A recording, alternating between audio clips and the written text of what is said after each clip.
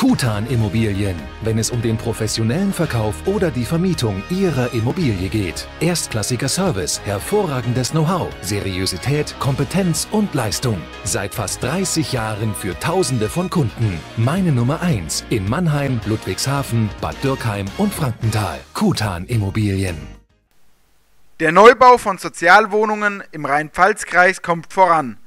Bei einer Baustellenbesichtigung haben sich die Mitglieder der Verbandsversammlung des Kreiswohnungsverbandes Rheinpfalz die Arbeiten im sozialen Wohnungsbau angeschaut. Derzeit werden vier Neubauprojekte umgesetzt, um auf die gestiegene Nachfrage im Kreis zu reagieren.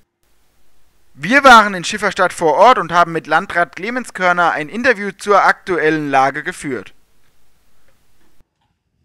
nach einer zwölfjährigen Pause haben wir uns jetzt äh, vor zwei Jahren entschlossen, wieder sozialen Wohnungsbau mit Neubauten. Wir haben 1950 Wohnungen und das ist jetzt einer der ersten Objekte, die auch jetzt bald bezugsfertig sind, wo wir im Landkreis jetzt wieder sozialer Wohnungsbau mit Neubauten dann auch errichten.